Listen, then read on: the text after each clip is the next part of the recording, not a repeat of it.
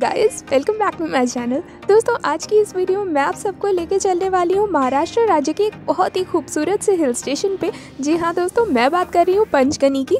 और आज की ये वीडियो एक रिक्वेस्टेड वीडियो होने वाली है, क्योंकि आप में से बहुत से लोगों ने मेरी महाबलेश्वर वाली वीडियो को देखने के बाद मुझसे यूट्यूब पे और इंस्टाग्राम पे आके ये रिक्वेस्ट की थी कि मैं पंचगनी के ऊपर भी एक वीडियो लेके आऊँ। तो हाजिर हूँ मैं आज आप सबकी ये रिक्वेस्टेड वीडियो लेके। तो गाइज़ अगर आप महाबलेश्वर जाने की प्लानिंग कर रहे हैं तो आपको अपनी ट्रिप में पंचगनी को भी ज़रूर इंक्लूड करना चाहिए।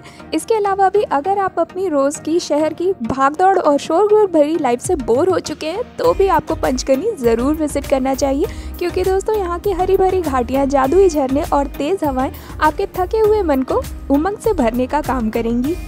तो दोस्तों, अगर आप भी पंचगनी जाकर एक ब्रेक लेना चाहते हैं तो ये वीडियो बिल्कुल आप ही के लिए है, क्योंकि आज की इस वीडियो में आप सबको सारी इन्फॉर्मेशन दे दूँगी पंचगनी विज़िट करने से रिलेटेड जैसे कि आपको वहाँ कैसे पहुँचना है, कहाँ रुकना है, खाने पीने की आपको क्या फैसिलिटीज़ मिलने वाली हैं, कहाँ कहाँ घूमना है शॉपिंग कहाँ कर सकते हैं आप। इसके साथ ही आप ये भी जानेंगे कि पंचकनी के लिए आपको कितने दिन का ट्रिप प्लान करना चाहिए, कौन सा सबसे बेस्ट टाइम रहेगा पंचकनी विज़िट करने के लिए। और वीडियो के एंड में ये भी बताऊँगी कि इस विज़िट में आपका कुल खर्चा कितना आ जाएगा। तो दोस्तों, ये सारी जानकारी लेने के लिए बने रहिए हमारे साथ इस वीडियो में। और अगर आप हमारे इस चैनल पर नए हैं तो चैनल को जल्दी से सब्सक्राइब कर लीजिए। साथ ही बेल आइकन को प्रेस करना बिल्कुल मत भूलिएगा, जिससे आपको हमारे आने वाले वीडियोस की नोटिफिकेशन मिलती रहे, क्योंकि मैं आप सबके लिए देश विदेश की यात्रा संबंधी ऐसी ही इन्फॉर्मेटिव वीडियोज़ लेके आती रहती हूँ।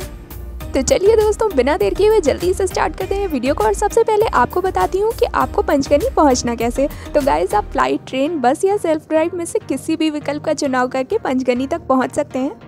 सो so गाइज़ अगर आप फ़्लाइट से आने की सोच रहे हैं तो पंचगनी का निकटतम हवाई अड्डा पुणे इंटरनेशनल एयरपोर्ट है, जो कि पंचगनी से लगभग 110 किलोमीटर की दूरी पर है और इस हवाई अड्डे तक के लिए आपको देश के बड़े बड़े प्रमुख शहरों से फ्लाइट्स आराम से मिल जाएँगी और एयरपोर्ट पर उतरने के बाद आपको टैक्सी या कैब बुक करके पंचगनी तक पहुँचना होगा।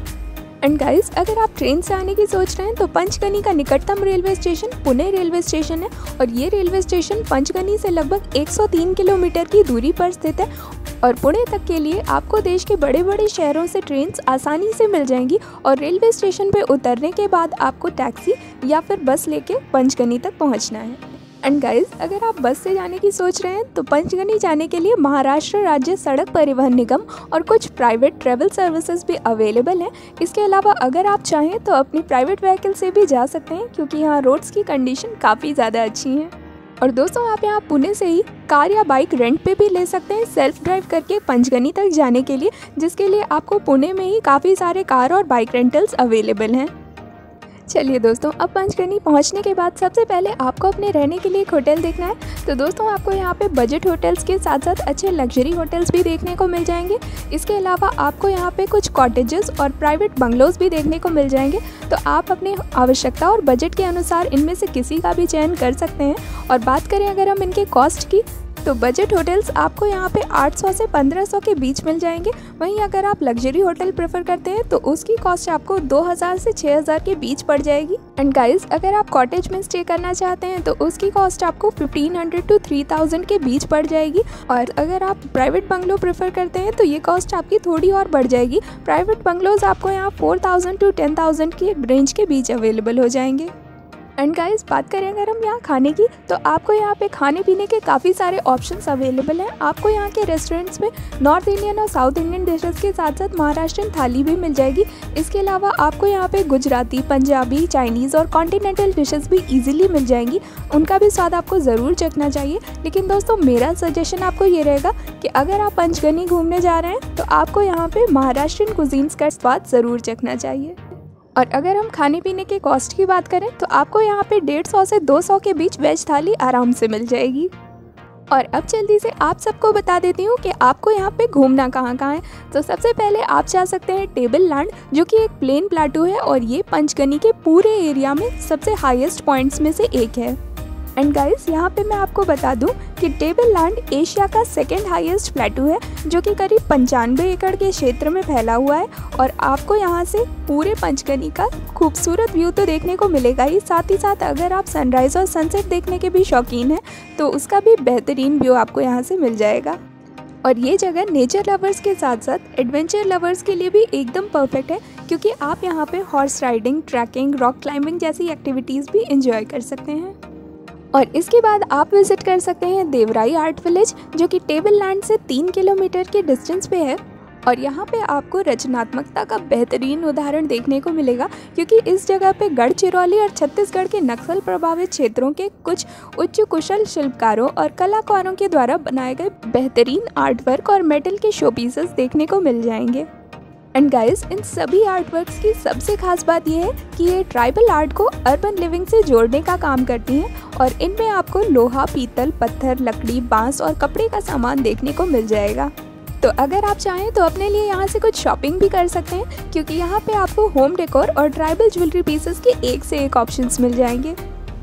एंड गाइस इसके बाद आप जा सकते हैं पारसी पॉइंट जो कि देवराई आर्ट विलेज से एक किलोमीटर के डिस्टेंस पे है और ये जगह नेचर लवर्स के लिए तो है ही। साथ ही साथ अगर आप अपनी रोज़ की भागदौड़ भरी ज़िंदगी से एक ब्रेक लेके कुछ पल शांति और सुकून के बिताना चाहते हैं किसी नेचुरल इन्वायरमेंट में तो ये जगह आपके लिए बिल्कुल परफेक्ट है।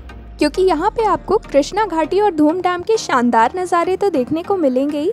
साथ ही साथ ये जगह हरे भरे पेड़ों से घिरी हुई है तो आपको यहाँ आके डेफिनेटली बहुत अच्छा लगेगा। साथ ही साथ अगर आप सनराइज़ या सनसेट व्यू भी देखना चाहते हैं तो उसके लिए भी ये लोकेशन काफ़ी अच्छी है। और अगर आप फोटोग्राफी का शौक रखते हैं तो ये जगह एक लैंडस्केप फ़ोटोशूट के लिए परफेक्ट सेटअप है। और इसके अलावा दोस्तों, आप यहाँ पे कैमल राइड का मज़ा भी ले सकते हैं और टेलीस्कोप से इस पूरी घाटी का खूबसूरत व्यू भी देख सकते हैं।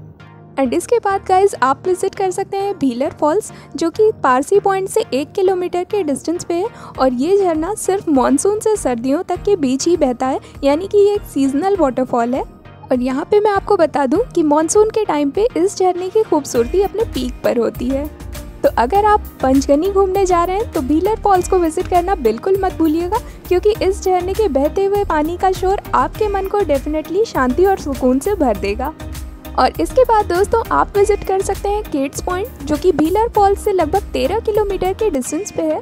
और ये जगह बेसिकली कृष्णा घाटी के ऊपर की विशाल चट्टान है, जहाँ से आपको धाम डैम और बकलवाड़ी की घाटी के पानी का शानदार नज़ारा देखने को मिलेगा।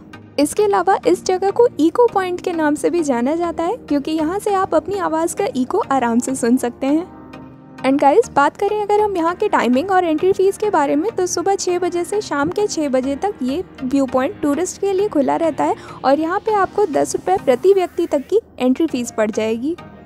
और इसके बाद दोस्तों आप विज़िट कर सकते हैं सिडनी पॉइंट, जो कि पंचगनी से लगभग दो किलोमीटर के डिस्टेंस पे एक पहाड़ी पे एक छोटा सा व्यू पॉइंट है, जो कि पर्यटकों के बीच काफ़ी ज़्यादा लोकप्रिय है अपने खूबसूरत नज़ारों के लिए। आपको यहाँ से धाम डैम, कृष्णा वैली और कमलगढ़ के किले के खूबसूरत नज़ारे तो देखने को मिलेंगे ही। साथ ही साथ अगर आप सनराइज़ या सनसेट भी देखना चाहते हैं तो उसका भी खूबसूरत नज़ारा आप यहाँ से देख सकते हैं।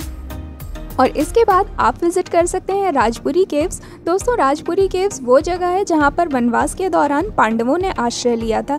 आपको यहाँ पे चार गुफाएँ देखने को मिल जाएँगी और ये गुफाएँ कई तरह के पवित्र कुंडों से घिरी हुई हैं, जिसे गंगा का पवित्र पानी माना जाता है। इस पानी के बारे में ऐसा कहा जाता है कि ये पानी हर तरह के रोग को ठीक कर देता है और इस गुफा का सबसे बड़ा आकर्षण है भगवान कार्तिकेय का मंदिर। आपको यहाँ पे भगवान कार्तिकेय का एक बहुत ही पुराना चित्र देखने को मिल जाएगा। और इसके बाद आप जा सकते हैं वाई, जो कि पंचगनी के पास एक छोटा सा शहर है, जो कृष्णा नदी के तट पर स्थित है। ये गाँव अपने सात घाटों के लिए जाना जाता है। इसके अलावा वाई के पास भी काफ़ी सुंदर सुंदर मंदिर बने हुए हैं तो आप चाहें तो उनमें भी विज़िट कर सकते हैं। और वाई के सबसे प्रमुख आकर्षण में आता है पांडवगढ़ का किला, जो कि यहाँ से लगभग नौ किलोमीटर की दूरी पर है तो आप उसे भी विज़िट कर सकते हैं। लेकिन दोस्तों, पांडवगढ़ के किले तक पहुँचने के लिए आपको लगभग डेढ़ से दो घंटे की ट्रैकिंग करनी होगी, और ये ट्रैकिंग आपकी आसान नहीं होने वाली है। और किले में ऊपर आपको एक देवी मंदिर देखने को मिल जाएगा। आप उसमें भी जाकर दर्शन कर सकते हैं। इसके अलावा वहाँ पे आपको कुछ तालाब भी देखने को मिल जाएँगे। एंड गाइस अब अगर यहाँ घूमने फिरने के बाद आप कुछ शॉपिंग करना चाहते हैं तो पंचगनी फ़ेमस है अपनी स्ट्रॉबेरीज के लिए। तो आप यहाँ से अपने लिए स्ट्रॉबेरीज भी खरीद सकते हैं। इसके अलावा आपको यहाँ पे जैम्स और जलीज भी मिल जाएँगी। और आप देवराई आर्ट विलेज से ट्राइबल शो पीसेस और ज्वेलरी भी ले सकते हैं। और दोस्तों, अब आ जाता है सबसे बड़ा सवाल कि पंचकनी विज़िट करने के लिए आपको कितने दिन का ट्रिप प्लान करना चाहिए और कौन सा सबसे बेस्ट टाइम रहेगा पंचकनी विज़िट करने के लिए? तो दोस्तों, दो से तीन दिन आपके पंचकनी की ट्रिप के लिए सफिशियंट रहेंगे। और अगर आप पंचगनी और महाबलेश्वर की एक कंबाइंड ट्रिप प्लान कर रहे हैं तो उसके अकॉर्डिंग आपको इसमें कुछ दिन और ऐड कर लेने होंगे। और महाबलेश्वर के ऊपर मैंने ऑलरेडी एक वीडियो बना रखी है। वीडियो का लिंक आपको नीचे डिस्क्रिप्शन बॉक्स में या फिर ऊपर आई बटन में देखने को मिल जाएगा। आप उसे भी जाकर देख सकते हैं। एंड गाइज़ पंचकनी विज़िट करने का जो बेस्ट टाइम होता है, वो सितंबर से मई के बीच का होता है, क्योंकि इन महीनों में पंचगनी का मौसम पूरे दिन बहुत ही अच्छा रहता है। साथ ही साथ बारिश भी इस समय कम होती है तो आप आराम से खुल के इंजॉय कर सकते हैं। एंड गाइस बात करें अगर हम बजट की तो पंचकनी घूमने में आपको ऑन एन एवरेज दो हज़ार रुपये प्रति व्यक्ति तक का एक दिन का खर्चा आ जाएगा और इस बजट में मैंने आपकी फ़्लाइट ट्रेन या बस के टिकट का किराया और आपकी शॉपिंग का खर्चा इंक्लूड नहीं किया है, वो आप अपने अकॉर्डिंग इसमें ऐड कर सकते हैं। मैंने इस बजट में सिर्फ़ आपके होटल खाने पीने और लोकल ट्रांसपोर्ट का खर्चा इंक्लूड किया है। तो दोस्तों उम्मीद करती हूँ आपको वीडियो अच्छी लगी होगी। वीडियो पसंद आई है तो वीडियो को लाइक कर दीजिए। साथ ही कमेंट बॉक्स में मुझे कमेंट करके बताइए कि आप और कौन कौन सी प्लेसेस घूमना चाहते हैं। और अगर आपके मन में कोई क्वेरी है तो आप मुझे मेरे फेसबुक पेज या इंस्टाग्राम पेज पे फॉलो करके वहाँ अपनी क्वेरीज डायरेक्टली मुझसे पूछ सकते हैं। मैं वहाँ ज़रूर रिप्लाई करूँगी आपको। और मेरे फेसबुक पेज और इंस्टाग्राम पेज दोनों का ही लिंक आपको नीचे डिस्क्रिप्शन बॉक्स में देखने को मिल जाएगा। और मैं मिलूँगी जल्दी आप सबसे अगली वीडियो में एक और नई डेस्टिनेशन के साथ। Till then stay happy stay fit and keep travelling